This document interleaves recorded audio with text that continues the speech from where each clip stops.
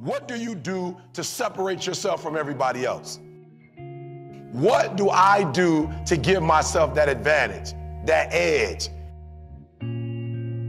If everybody's out there just playing and you're exactly like them, you shape like them, you, you have the same speed they have, everything is the same, what's your advantage? What's your edge?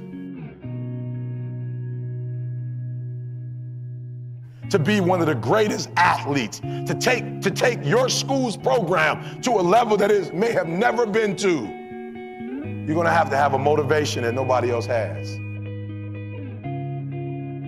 You have to have a why. Your motivation has to be totally different. You have to have a why.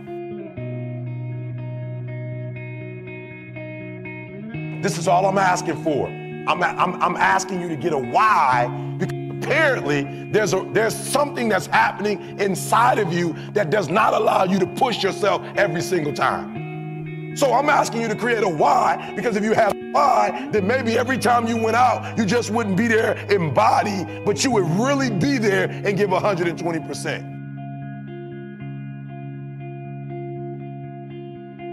Who do you do it for? Are you a gazelle or a lion? I want you to stop just thinking about yourself I want you to think about your family.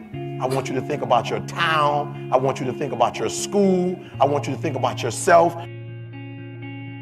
Remember what we talked about. I'm going to help you to separate yourself from every other player that's the same size as you every other player just just as quick as you. Let me tell you what I know he's not going to do. He's not going to put forth 100% effort every single play. He might do it the first quarter. He might do it the second quarter. He might even do it the third, but most of them give out in the fourth quarter and they put forth 50%. And that's why Barry Sanders was one of the best running backs that ever played the game, and he would be negative 16 yards in the third quarter and still get 100 and something in the fourth. Why? Because he said all those defensive guys, the guards, the tackle, they will get tired. Their legs will give out. And just when their legs give out is when I'm going to break for the big one.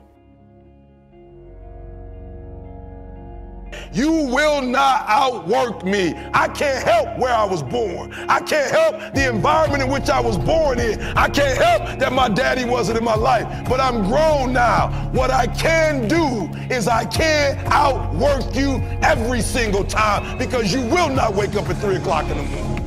And I will.